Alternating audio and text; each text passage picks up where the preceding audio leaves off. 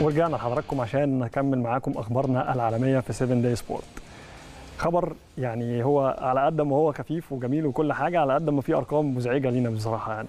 ميسي يهدي زملائه هدية ذهبية وتلقى عرضا من السعودية. ليونيل ميسي نجم باريس سان جيرمان ومنتخب الأرجنتين المتوج بكأس العالم. عمل حاجة مش مسبوقة قبل كده وما شفناهاش قبل كده وزع 35 موبايل على زملائه في المنتخب الأرجنتيني.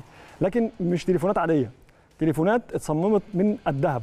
من أحد الشركات العالمية. طبعا الشركة المشهورة المعروفة يعني عن شركة الموبايلات وكلفته 175 ألف جنيه استرليني حسب ما قالت الصحافة البريطانية.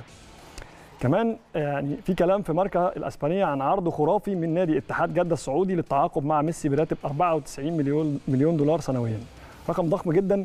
يعني هو الموبايل 175 ألف استرليني بقى مش مهم لأن 94 مليون حاجة صعبة قوي رقم صعب قوي بصراحة يعني. وعامل موبايل بالذهب بكل واحد باسمه. يعني كل واحد باسمه ورقمه موبايل من الذهب. اسمه ورقم التيشيرت بموبايل من الذهب. فيعني هدية قيمة زيادة عن اللازم بصراحة. اهو اللي حضراتكم شايفينها دي. هل ممكن بقى نشوف ميسي في الدوري السعودي؟ شفنا رونالدو حصلت. لكن هل ميسي ورونالدو ممكن نشوفهم وجها لوجه في الدوري السعودي؟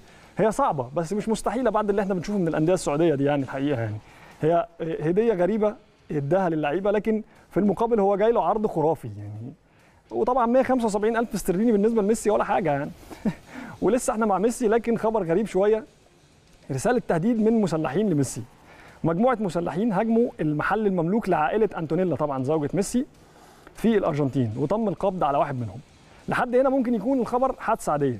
لكن الغريب إن المسلحين دول سابوا في المحل رسالة تهديد لميسي بيقولوا فيها إحنا في انتظارك و وجابكن مهرب المخدرات مش هيحميك.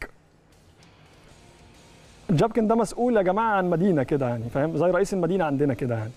المسلحين دول أطلقوا ست رصاصات في المحل المملوك لعائلة أنتوليلا ده زي ما قلت لحضراتكم والشرطة قبضت على واحد منهم ده اللي ظهر في الكاميرات يعني وهو بيضرب نار على المحل.